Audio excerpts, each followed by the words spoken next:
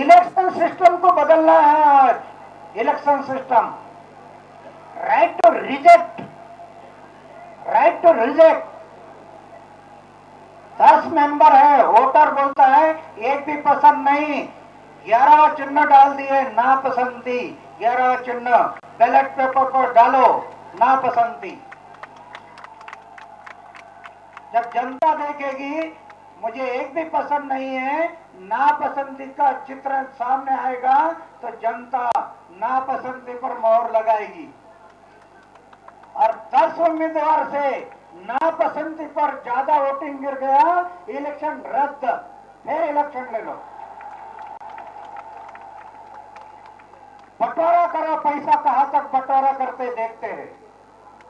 कहाँ तक पैसा बंटवारा करते अरे एक इलेक्शन का दस करोड़ रुपया पाने में गया तो इलेक्शन कर लड़ने वालों का दिमाग जगह पर आ जाएगा। वो काम हमें करना है। इलेक्शन सिस्टम को बदलना है। तब करप्शन कम होगा।